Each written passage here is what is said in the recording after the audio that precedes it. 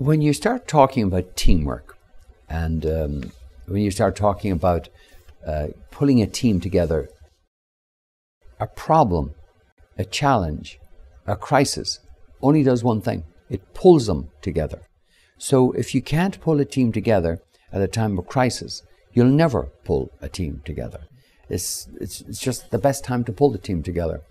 Uh, a few years ago, when we saw things going the way they were going, and everybody in the economy saw things going the way they were going, and lots of people wondering where their job is and what's going to happen, etc.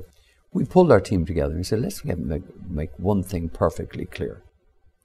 Number one, we're increasing your salaries. This was 2009 by 9%. Number two, nobody will get laid off. Number three, we need you now to step up and do your part. When that was all over at the end of 2009, um, we doubled our profitability, we increased our sales, um, we reduced our debt by a third, and we did twice as many capital projects as we'd ever done before. In a time of crisis, that's the time that you pull your team together. And we use the term ferocious togetherness. We're together. And, and if you do that and enjoy doing that, then in fact, uh, you can really go somewhere, somewhere special. My daughter is a clinical psychologist um, up in Chicago. And she says we have Kentuckians, but we also have Alltechians.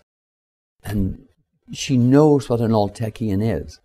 And they're gregarious and they, they mix well, they're, they're loyal, they're fun.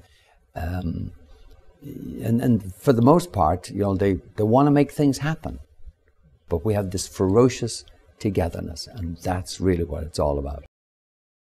Our mission is to drive this company and everybody who, who's in this company to heights that we've n- never even dreamed about. Mm-hmm. Um, our mission is to use the company and, and all the things that we do to help us with our philanthropic activities to help us with uh, new business opportunities, to help us with driving science uh, and using science, help us with get more more people into science. Our business is to make sure that the meat you eat and the food you eat is more nutritious. That's our business.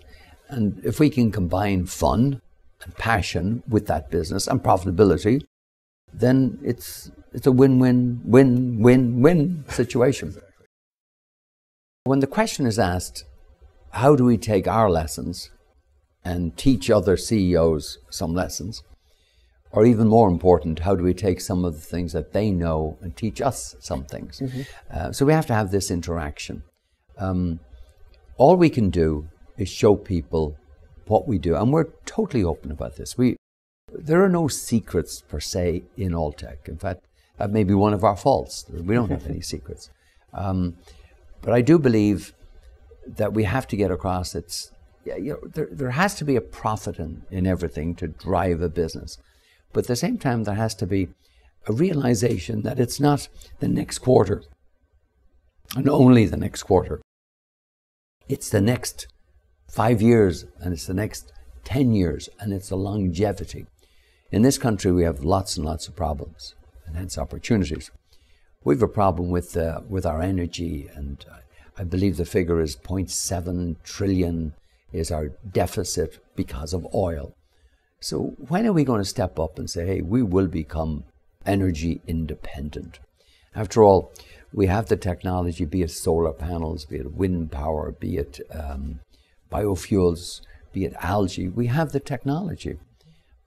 We need to leave our politics outside the door we need to focus on the problems. We need to get all the CEOs together, perhaps, and say, okay, now let's make things happen. Um, my job and our job is to ensure that this company continues to be successful. And success means different things. It can mean profits. It can mean pushing the advance of science further out. It can mean attracting people to us. Um, it can frankly mean job security and career security that they have. Uh, they're somewhere they know the company is going. You know, I have a wonderful job in a wonderful company, and a friend of mine um, was in Iwo Jima, and he was 17 years old when he went to Iwo Jima. Um, and Charlie is probably 88 or something like that now. And Charlie used to tell me, he said, you know what? We're in a company, Alltech, where we have nice people we work with. We're in a company that we are producing products which have an impact. We're in a company, he said, and he and I would sit there in the afternoon where we can have a cup of coffee in the afternoon and a donut. And you know the darndest thing he'd say? And I'd say, No, what is it? What is the darndest thing? They pay us to do this job. That's what it's all about. And that's how you get people with you.